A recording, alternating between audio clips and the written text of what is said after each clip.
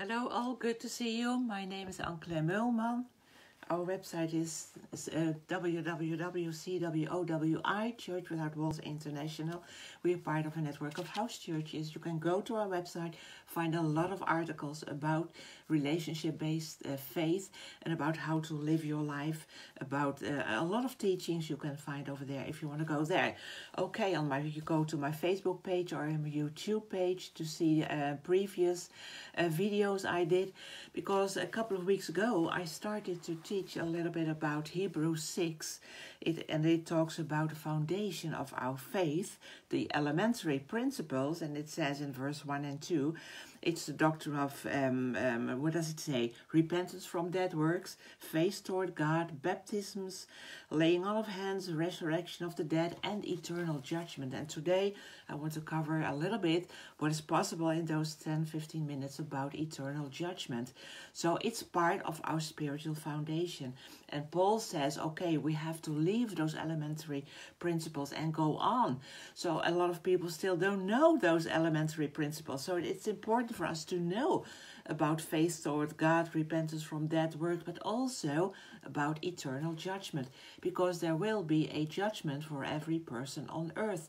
And if you don't know that, you live your life as as this life is all that matters but that is not true. That is a deception. It's a deception that when you die it's all over and no one cares anymore. No no it's not over so, what is eternal judgment? Well, every person on this earth and those who died already will face a future time of reckoning. So, it is important for us to know what kind of judgment we will face according to the, church, the choices that were made during our time on earth. So, let's first begin with the judgment that awaits the unbelieving, the people who are unsaved or ungodly. And last time we saw there will be a resurrection of the unjust at the end of the millennium reign of Christ. At the very end of Christ's thousand years on earth, the unsaved will be summoned forth from their graves and they will stand before the great white throne judgment. So that's the first kind of judgment, the great white throne judgment. But it's important that you, as a believer, you will not stand before the great white throne judgment to be judged because you are in Christ. And this judgment is for those who are unbelief, unbelievers who are unsaved. Go to Revelations if you have your Bible over there. Revelation 20 talks about it, and there's a lot to share.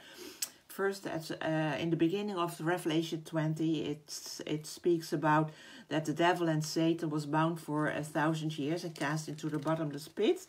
Okay, so he could no more deceive the nations, which is wonderful if he cannot deceive the nations anymore, because he is deceiving the nations, right? And not only those who are not born again, but I see around me he's, deceiving a lot of Christians too. Okay, but there will be a time, a thousand years at least, he will not be able to deceive the nations. And then I go on, and then it says, after those thousand years, Satan will be released again from prison and he will go out to deceive the nations. Why is that? That is because those people that were born during those thousand years, they only know the reign of Christ. They only know goodness and love and whatever. They had no choice to, to choose between uh, right or wrong, to, to choose between light or darkness. And because it would not be fair, every person now has to choose when you are alive, you have to choose whom you will serve and from which tree you will eat, so to speak. So he will be uh, release to deceive the nations and so on. And then it says, uh, again, in we go to verse 11, it says, And I saw a great white throne, him who sat on the throne, on the throne whose face the earth and heaven fled away, and there was found no place for them. And I saw the dead, small and great, standing before God, and books were opened. You know that there are books written what you do and what you what you have done, the things you do on this earth. And then another book was opened, that is the book of life, and the dead were judged according to their works by the things which were written in the books. And then the sea gave up the dead who were in it, and death and Hades, there you see, death and Hades, so those who died uh, as an unbeliever delivered up the dead who were in them, and they were judged according to their works. So when it says, and they saw the dead, small and great, stand before God, eh, the, the phrase small and great, that means it's everyone, regardless of your status. Doesn't mean if you are a king when you when you died, or if you are just a, a small person, or or you didn't accomplish uh, much. It doesn't matter. Everyone, small and great, regardless of his or her status, you will stand before when you are not born again, stand before God, before the great white throne. And it says books were opened, and one of those books is the book of life, and but they will not be found in the book of life, because the book of life holds the name of all those who have put their faith in Jesus Christ. Remember, you know, when Jesus, how Jesus answered the apostles when he said, Oh Lord, you know, in Luke 10, we have authority over demons, and they were so excited. And then Jesus replied, Do not rejoice over that, but rejoice that your names are written in heaven. So when you are born again, when you are a believer and put your faith in Christ, your name is written in heaven. It is written in the book, the book of life.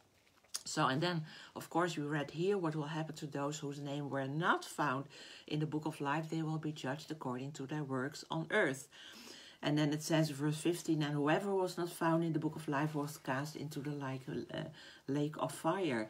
That is the eternal destiny of every person who dies without Christ. It's not fun to hear, but when you are alive and when you are listening to me right now, you still have a choice. You can choose. You can choose to give your life to the Lord, that He will cleanse you. You will be part of His kingdom, and your name will be written in the book of life. Then there is the judgment seat of Christ. That's another judgment, and this event will occur before the, the great white throne judgment, it will occur after the rapture of the church and during the seven years of tribulation while we are in heaven. And you say, I don't know, I don't believe in the rapture of the church. Well, the rapture of the church is seen in the Feast of Trumpets. Uh, there's all, you have to go there and study it. And then there are days between the Feast of Trumpet and Rosh Hashanah. Uh, no, uh, the, uh, between Rosh Hashanah or the Feast of Trumpet and Yom Kippur, seven full days. And those days are called the days of awe, or the days of judgment, or Jacob's trouble, or the days of wrath, meaning that people on earth still have time to give their lives to the Lord, you know, before the, the end of that. But when the Feast of Trumpets happens and the trumpet blows, and those who are in Christ will go to Him, will meet Him in the air, then in heaven there will be an event. There will be the, the marriage supper of the Lamb and there will be the coronation of the king, but also the judgment seat of Christ. Well, it, it seems like judgment. Oh, do we have a judgment? No, it's not time for, you will not be judged, uh, your sins will not be judged. It's not a place and time that we will stand before Christ to give account of the sins we've committed. That's not what it is about because when you got saved, spiritually speaking, you were judging yourself. You judged yourself to be a sinner and you took God's remedy for your sin.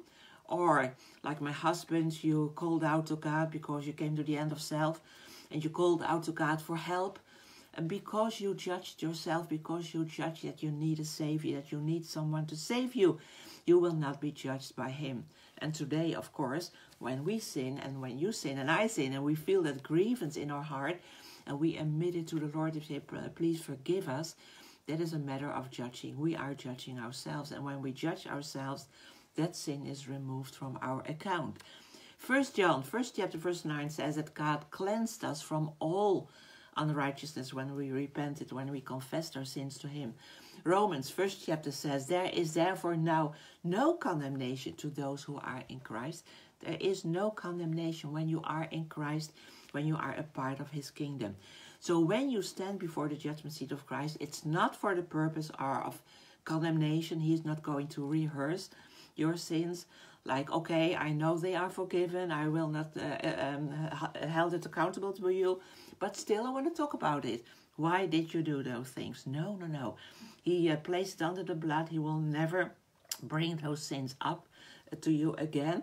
Psalm 103.12 says, As far as the east is from the west, so far has he removed our trans transgressions from us. And that's an amazing statement because, you know, east is one direction, west is another. And that's the difference from north and south before, because you can travel north only so far be, before being forced to travel south. So, north and south meet at the poles, but east and west never meet. So, no matter how far east you travel, you will never reach a point at which your next step will be westward. Therefore, God did not say as far, as far as the north is from the south, but He said as far as the east is from the west. Wow, our sins have been removed from us as far as possible to imagine, and we will never be held accountable of for them. Then, what is the judgment seat of Christ? It is a place where He will deal with, that, with us about what we did with our lives after we came to Christ. It will be a place of eh, evaluation and based on that evaluation, rewards will be given.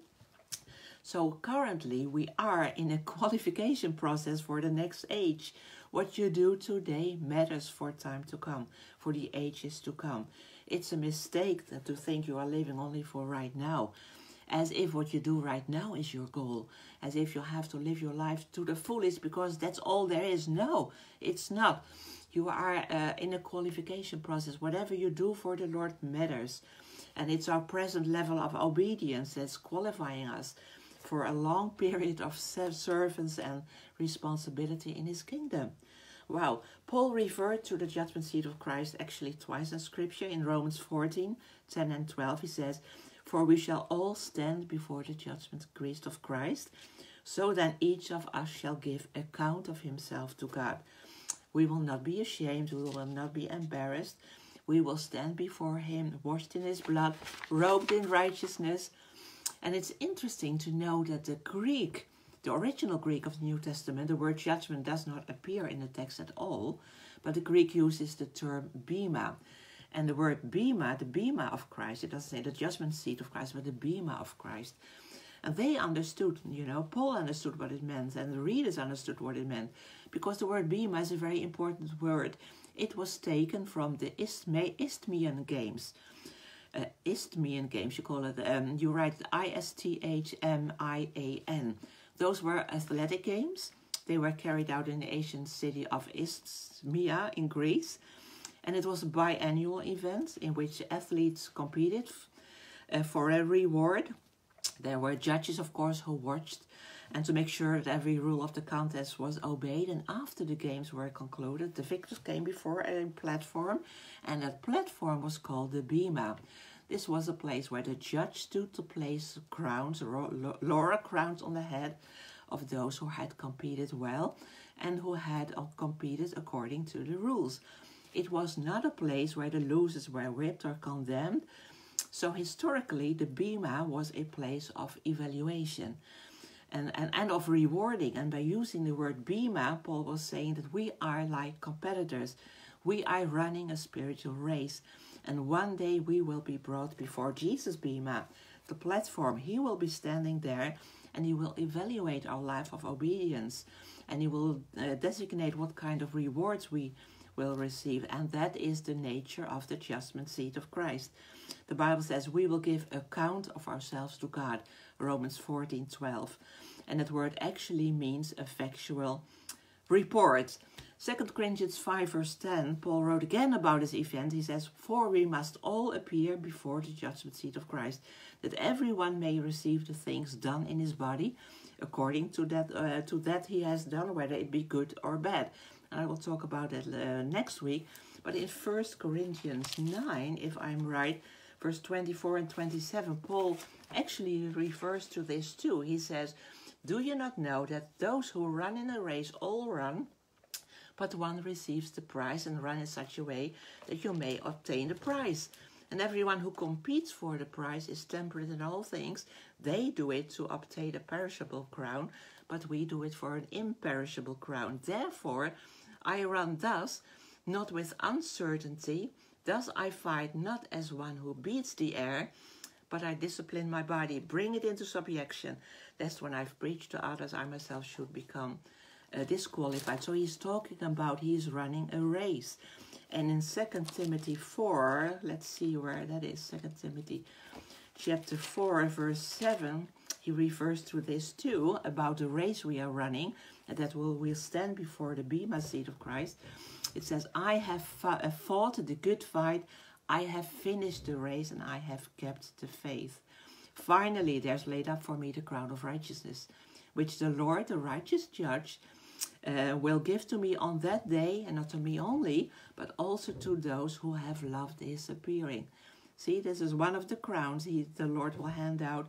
It's the crown of righteousness when you loved his appearing. So that is the judgment seat of Christ. That is for you, not a place of condemnation, but a place of evaluation, of rewarding. And that is a wonderful place. You will stand there robed in righteousness. And uh, oh, wow, it will be such a wonderful place. Okay, next uh, week, I think I will go, I will talk about what will happen. What happens when you die, for instance, when you are still sinning or something in your life that you have not repented of? What does that mean? How is it possible that the Bible says that we will, as a bride, will be without a spot, without wrinkle? How does God judge us now, today, while we are living on earth? Uh, interesting things, right? But that's for next week. Bye bye.